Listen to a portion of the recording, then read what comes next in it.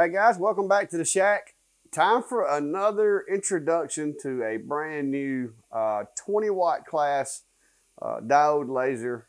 And this machine has some features that you you haven't probably haven't seen yet on the market uh, as far as the diode hobby laser uh, machines go. Uh, the machine was sent out to me by Two Trees, and it is their TS2 model.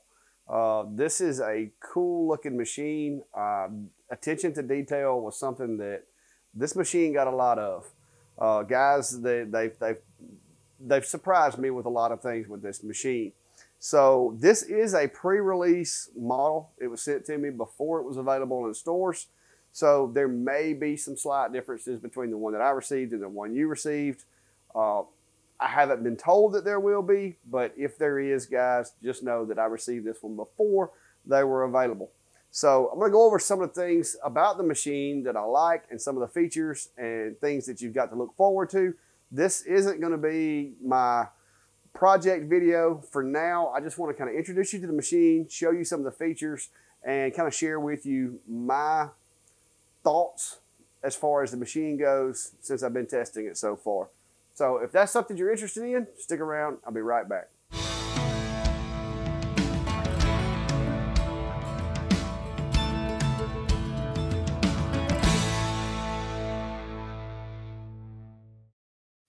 All right, guys. So start off this video just so you guys know that not every experience with these lasers can always come out to be ideal.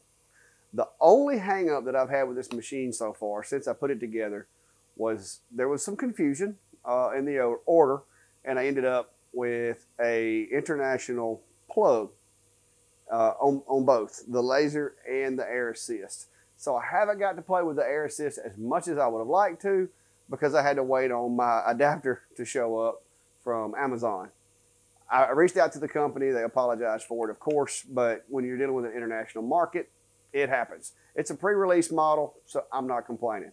But uh, I did, however, go ahead because I figure, you know, this is the first time this has happened to me, but it's probably not going to be the last. So I did go out and purchase myself an adapter. So now, regardless of what's sent, I should be able to, to make it work. This was an easy fix. It's just the standard uh, computer plug, and I got plenty of those laying around. So I just grabbed one off of another machine and plugged it in. And then I got this little adapter for the air assist. And so now all is well. So all of the testing that I've done with the machine up to this point has been done using shop air regulated at 10 PSI to the regulator. So I'm just going to kind of turn the camera around. I'm going to show you some of the features of the machine. I'm not going to do a lot of hands-on today with it. I have been doing a lot of testing with it.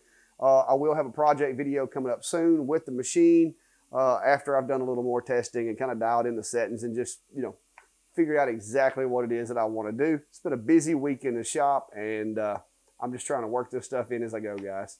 All right, guys, so I'm going to be throwing some video together. Uh, I've had this machine for probably close to a week now, and I've done some testing with it. I've done the assembly.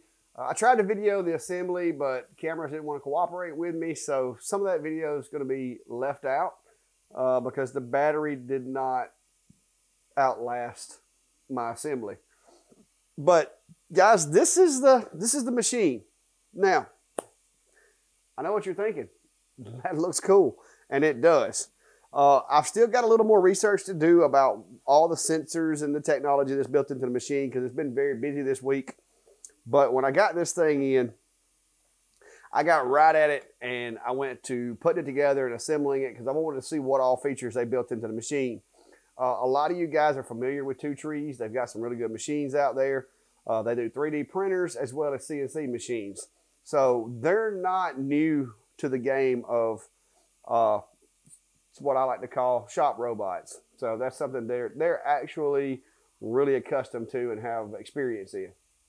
So one of the first things that you notice about this machine, and it kind of jumped out at me too, guys, because when I was looking at the pictures that the, the that Two Trees had sent me of the machine, is all of the cool accents with the the red, and it it does add a little bit of uh, extra like appearance to the machine. Uh, you do have the red acrylic here in the front of the machine. Uh, the rollers Uh, they are all the red color as well as this adjustment knob. Uh, the linkages on the back have the red, and it just looks really good. It, it almost has that sports car appearance to it. Uh, this machine came with a lot of bells and whistles, guys. The stepper here is secured at the very end of the extrusions. The belt runs through the extrusion, so there's no exposed belt here. Uh, this machine also uses four rollers on the connection points instead of three. Uh, that should lend itself to a little more stable connection with less chance of, uh, of, of movement and uh, you know those those variations that can be associated with having that one leg, uh, that one roller up top. Uh, the assembly, guys, I will warn you, if you if you, if you're not a fan of assembly, you're going to have to be patient with this machine. It does take a few minutes to put it together, but part of that reason is that it comes with a lot of these technological advancements. Uh, it does have the included drag chain, which adds to the assembly. Uh, but that's to me that's a welcome add because it makes the machine look a lot cleaner and run a lot smoother. Uh, this machine also has the automatic focus as well as a power Z axis, and I've tested it in LightBurn, guys. The focus technique takes a little getting used to because you have to swap. If you're like me and you like to run absolute coordinates, you have to swap out of absolute coordinates uh, you basically have to run the machine out to where you want to focus it at, focus the machine, and you have to either then put it in absolute coordinates or rehome it before going back out to engrave. Uh, when you do the autofocus, it'll, it'll dip down. It has this little tiny little bar here uh, that, that touches the material, activates a limit switch, and that limit switch kind of lets it know where zero is. Uh, and so whatever setting you have set up in the macro, uh, once it touches down, it's going to raise back up to that setting, and that's going to be your focus. But you can also, in your layers and cuts, you can add and subtract elevation to the z-axis on the different layers, and that's really cool. It takes some getting used to. I still haven't mastered it, and that's one reason I want to wait on my project video to the point to where I can show you guys a project in which I can utilize the z-axis to its fullest if that opportunity presents itself. Uh, but it is it is really handy to have uh, when cutting thicker materials. The only downside is because it is a diode and it is limited on the focal range, you're not going to be able to go really really deep with it uh, because at some point you know your module will end up impacting the workpiece. Uh, but I've, I've found that going down two millimeters on general plywood, I haven't had any problems with it pushing the wood or striking the workpiece. Four millimeters, it gets a, a little more uh, sketchy. You got to make sure your material is perfectly flat uh, to be able to pull that off, to go down to four millimeters below where the machine is supposed to be focused at. So that was a, you know, that was that was a bit different. But if you're doing you know, something like a mirror or something like that, then that wouldn't be a problem. But with wood, as we know, sometimes plywood especially can warp. So if that's the case, you may want to stick with the, uh, the regular focus because this little bar back here sticks down uh, a little bit further than the shield. And that guy can catch your material if you take too much off of the focus. So just a little warning there. I learned that one the hard way, guys. I was shoving material everywhere with that thing until I realized I was just bringing the focus down too far, causing the little uh, the little sensor leg to uh, strike the material. Now, you do have a manual knob here that you can move it up and down with. Of course, what's the fun in that when you can do it automatically? Uh, and it's kind of cool uh, to do the autofocus. And uh, I'm going to try to, like I said, I'm going to try to do a little more in-depth video on this. This, the possibility of extending this machine I think it's there. Uh, I think you would be kind of limited as far as the size of the extrusions, uh, but who knows? I could be wrong. Uh, but for what it for for the way it's set up and the way it's configured now, it's done me a really really good job. Uh, the air assist pump, I, like I said, I haven't got to use it a lot because the power cable that it came with, I had to get the adapter. But the power on these things is pretty generic. So if you've got another machine laying around, you can borrow uh, power supply for the air assist or, you know, whatever. I just chose not to do that and to wait until my adapter got here to show you guys how it works. The one other thing that I did kind of have to improvise on, guys, was the, the pump, the outlet for the pump was a little larger than what the hose that goes to the air assist uh, was. And so I went and got myself an adapter that I had in my box already. It comes with one adapter, but it wasn't uh, substantial enough for this application. And you could probably take this line and put it inside the other. But since I had the adapter already, I've adapted the larger hose that comes with the pump to the smaller hose that is connected to the machine and got that functioning. Like I said, the uh, the power wire, uh, I did have to get me an adapter. So guys, fingers crossed on this. I have never used one of these adapters, but uh, I suspect it should work. Uh, got it from Amazon.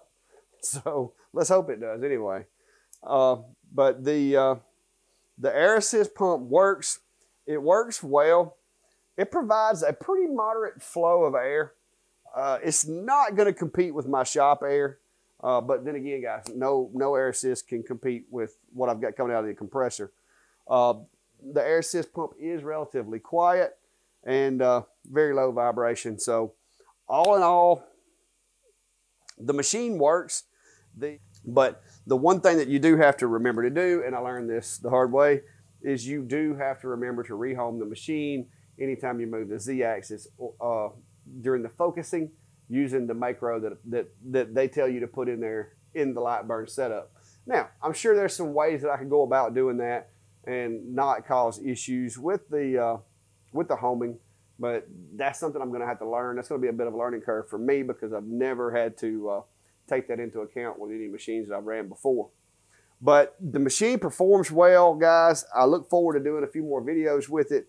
I'm trying to come up with a project for it. And I've also got to get an enclosure that will house these machines. My, my, my secondary enclosure uh, right now is only 24 by 24 or so, and it will not house these machines. I'm going to be working on that hopefully this weekend so that I can get that done and get some of these machines in that enclosure to be able to test them a little better. Since I've got the air conditioning in here now, uh, don't want to leave the doors open as much to let insects in. And so I'm going to get have to get my enclosure upgraded to to really do some rigorous testing on these machines. But all in all, guys, the build quality, uh, assembly, the way it performs so far, uh, I haven't had any issues with it. Uh, we're going to try to put some of the other video that I made uh, machine in there uh, as soon as I can get that piece together. Look forward to another video with this machine, hopefully this weekend, and uh, a little more detailed information and some, some action shots of the machine working. But tonight, I just wanted to kind of give you guys a quick flyover and introduction to the machine and uh, let you know what's coming. So until next time, guys, be safe and have a good day.